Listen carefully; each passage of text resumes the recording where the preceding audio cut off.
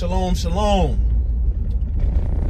You are almost guaranteed to look at the people in your life differently after I roll this clip.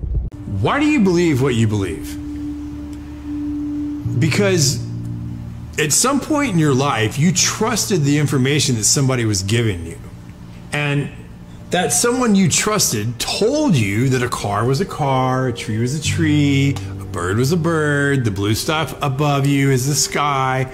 And that's the way that we began to determine what we believe to be a fact. Most of the things that we believe to be a fact in our lives are told to us through our stories or the news that we hear. So, my question would be if they were deceiving you with the stories they tell you, would you be able to recognize that?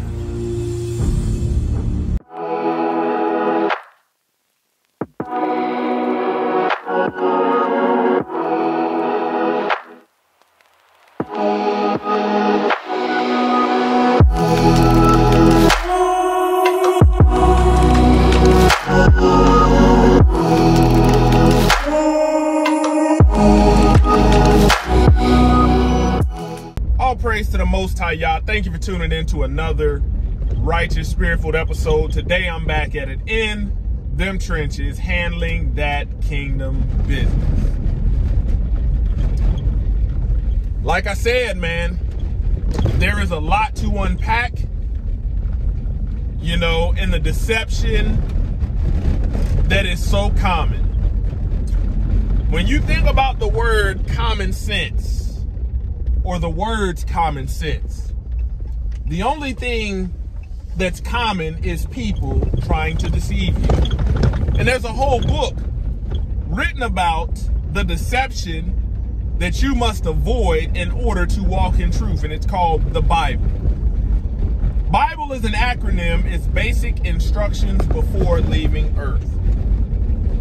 I'm gonna if you if you don't think that the deception is real, I'm gonna ask you several questions if an atheist does not believe in God or gods, does not subscribe to world religion, a Christian believes in God and subscribes to religion, what makes them different? And the reason I ask that, what makes them different if they keep the same holidays, both deceived, thinking they mean something different? The Christian says, "Oh yeah, I, I, I keep, I keep it because it's the birth of Jesus, and there ain't one doggone pastor out there that can show where we're commanded to keep that in the Bible." The atheist keeps it because, oh man, my kids have to have something to, you know, to keep them in the holiday spirit and you're you're you're sitting off singing Rudolph the Red-Nosed Reindeer. And nobody's addressing the fact that this stuff has pagan origins. Here's another one. If money is the root of all evil, that's biblical. If money is the root of all evil, not money itself is evil, but money is the root, then why are all these places of worship telling you that money is tithes when it's not. And we can prove that via the Bible. The word tithe simply means a tenth. But biblically, we don't see anybody paying their tithe in money. Hmm. The deception is off the chain.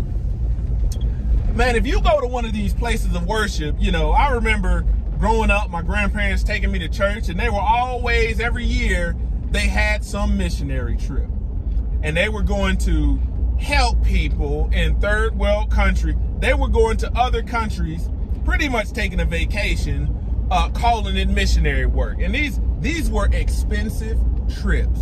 But let me ask you this: if we got over six hundred thousand homeless people and over three hundred and thirty thousand churches, why pay a thousand dollars for a plane ticket to go overseas and help somebody when each church could simply help two people and that would solve our problem with homelessness. Hmm, the deception is off the chain.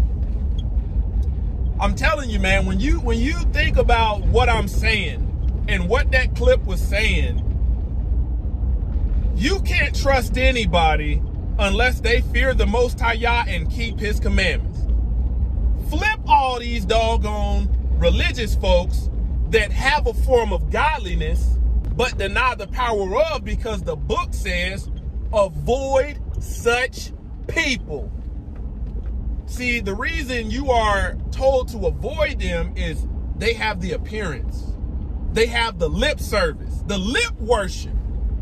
But behind that lip worship, there ain't no action. See, this will make you look at your mama a little bit different. This will make you look at your daddy a little bit different. Your own blood family. The people in your circle. See, in the last days, there's nothing wrong with having a small circle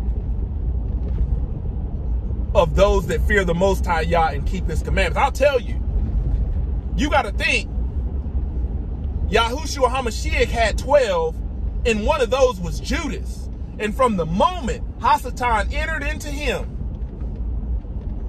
he wasn't worth a dang. It would have been better off if he wouldn't have been born. So I'm telling you, you cannot trust these people. You, uh, oh, here's another one. Give you another one. Your pastor, who potentially has a bachelor's, a master's, or even a doctorate, you know, who you think studies the word, studies the word, and he won't have anything biblical in support of the questions that I've asked, showing that this stuff is accurate that we have been taught. I'm telling you, you better wake up, man. I'm telling you, you better wake up your doggone mama and daddy that taught you all this foolishness, that sung you all of these deceptive songs, they were deceived. They were deceived. And here's the here's the bad part. The what makes this really hit home is your average person that is deceived and has helped play a role in you being deceived, when you bring them to the truth, when you bring the truth to them, don't be surprised if they reject it. Why is that? Because the book says they would reject it.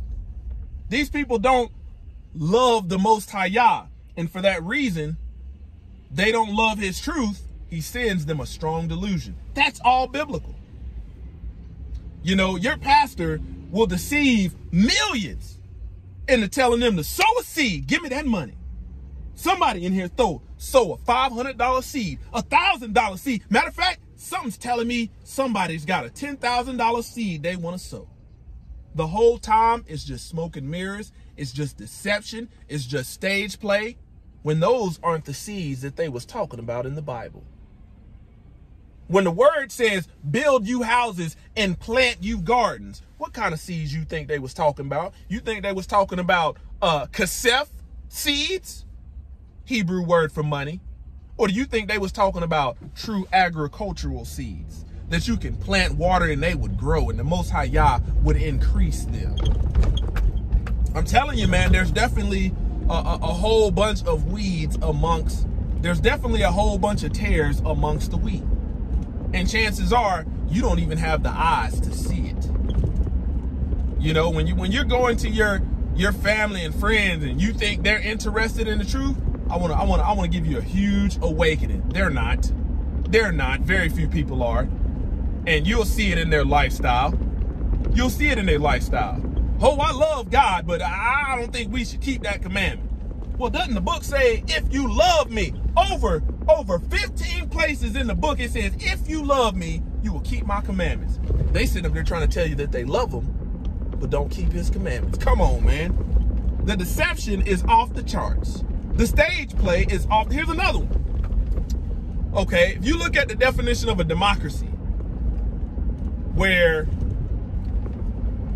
the meaning of the word means governed by the people. When you look at it, hmm, okay, if we governed by the people, why are you sitting up voting for somebody that wants to have rule over you and pass all kind of stuff you don't support. But you're on that side. The deception is off the charts.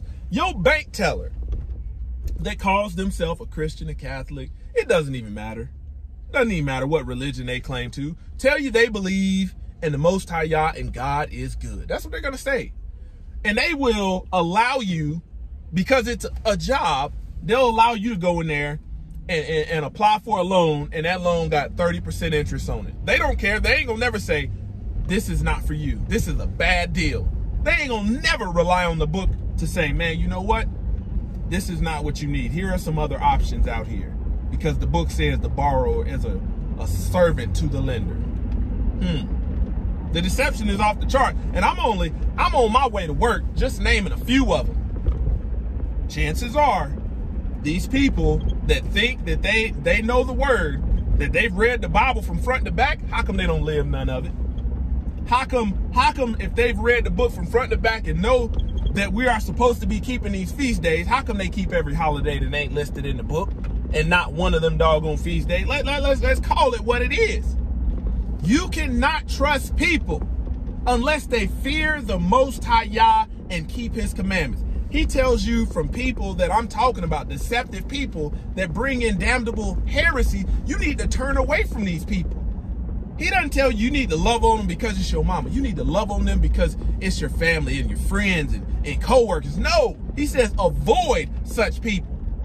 He says if you're not willing to hate your mother, your father, your wife, your children, and even your own life, you're not worthy of being my disciple. Hmm. See, the thing is, a lot of people choose to stay deceived. Because when a messenger, which the book calls an angel, etymology of the word angel is messenger.